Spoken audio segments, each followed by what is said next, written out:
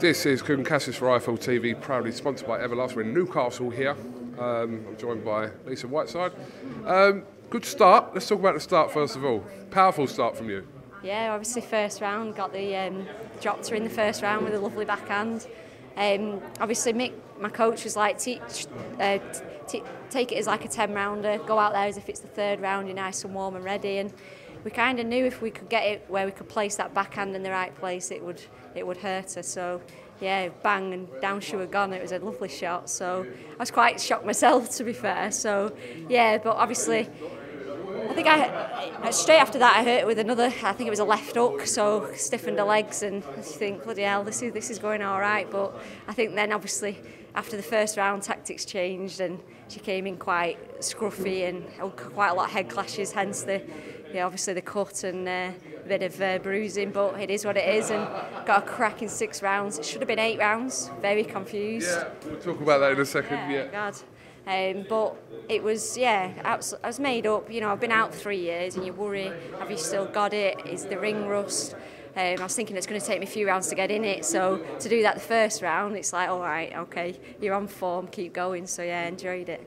Let's talk about the cut because it seemed to be, I mean, blood was streaming from that left eye, like quite, uh, yeah, dramatically, should we say. But um, how was that kind of impacting you in that round that it was cut? Yeah, it was. In, I think it was in the fourth round, and basically, um, as soon as it, I felt it go, bang, trickled, blood was it was pouring out, and straight away could feel it, and it, it completely knocked my vision in my in my right eye. So yeah, for the rest of the round, I had I was working off one eye, and yeah, do you know what? It's probably a good experience to go through to be able to know that you can deal with a situation like that. So, um, yeah, a lot of she's obviously got a hard head because I with some hard backhands and she kept coming. So, but unfortunately, yeah, she was coming in with the head quite a bit. Um, um, so yeah, after the fourth round, Mick did a brilliant job ref said it was a head clash.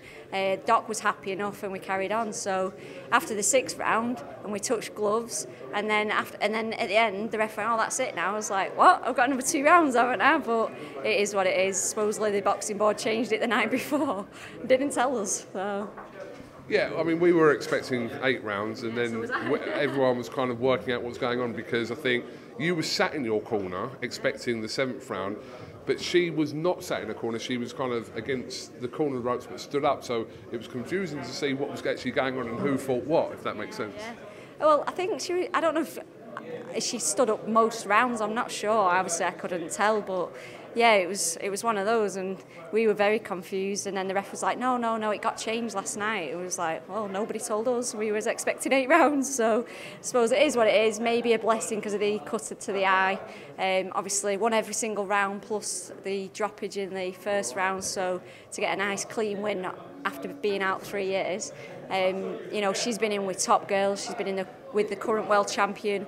I think she's nicked rounds off people and to just do have a nice comfortable win even though it was scruffy and a lot of head clashes um, yeah good to be back okay so are you in a hurry I don't mean now like to get off this interview I mean are you in a hurry because like I was talking to a few people kind of in and around the team people you know and it's like the same names come up Dina Forster etc blah blah but you've not had that many fights as a pro um, but do you feel like you're in a hurry? Have you got time to kind of still mould into the fight you want to be? Yeah, I just feel like I'm, I box better when I box better people, and I don't feel like I don't want to box journey women. I want to box, you know, I got offered different females for this comeback fight, and I didn't want an easy fight. I wanted a tough girl who's not been stopped, who was to, you know, give me a, a good fight, and you know, to then show my strength in that first round with a beautiful backhand, it kind of shows where I'm at and what I'm capable of. So, you know, I, Probellum and S-Jam have utter belief in me, so I'm quite happy to be fast-tracked through. I'm quite happy, you know, people say, oh, you know, the amateur game doesn't count. Well, I had over 120 fights and I, and I boxed the best in the world and beat the best in the world. And, you know, I was ranked you know, in the top one and two at different weights. So um, I've got all the experience. I just want to push on now. You know, unfortunately, social media is not nice at times, is it? You get trolls and say, oh, she's getting old, she needs to get a pension and all that crap. But do you know what? Age is just a number. I'm 36. The average age for a world champion is 37. So bring it on. Oh, fuck them anyway, whoever's well, I'm saying that at 41, but you know. But uh, listen, do your thing. Like I said to you, you're. Uh, we know that kind of from not just you're not being judged on just kind of those few fights you've had as a professional, but people that know kind of what you've done before and kind of know that there is still something there for you to achieve in, in professional boxing, whether you're 36 or not. So go and get it. Yeah, definitely. Do you know what I mean? We, we've had absolutely awesome sparring. I've done some awesome rounds with all top girls and felt great in there. Um, so yeah, it, this tonight was that you know I, have still got it, and I'm quite happy to say that I have, and I'm raring and ready to go again. You know, I've already spoke to Probellum, hopefully back out in September. Um, obviously, I'll have a 28 day because of my eye, but um, I'll be back out in September and just push on. Final one. If I give you a, like a, an open market, name me three fighters that you'd like to fight in the next 18 months. If I could give you anyone, Lisa? This might sound really rude, but I probably wouldn't even be able to name three ones at my weight because I'm just like, I'm happy to fight whoever, you know. I'm not one of these, I'm not going to duck and dive anyone. And if you want to be the best, you've got to box the best. And every credit to every single one of them world champions at Super Bantam. You know, Bantam, whichever route, I'm happy to take. I'll never swerve anything.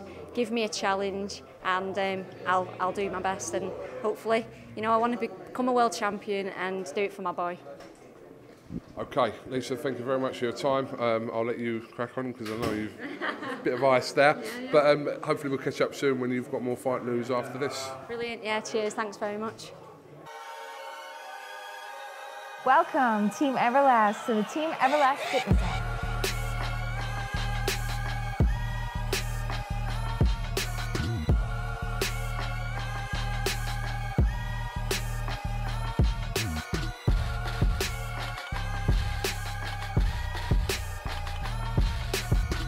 Download the Everlast Fitness app and find your greatness within.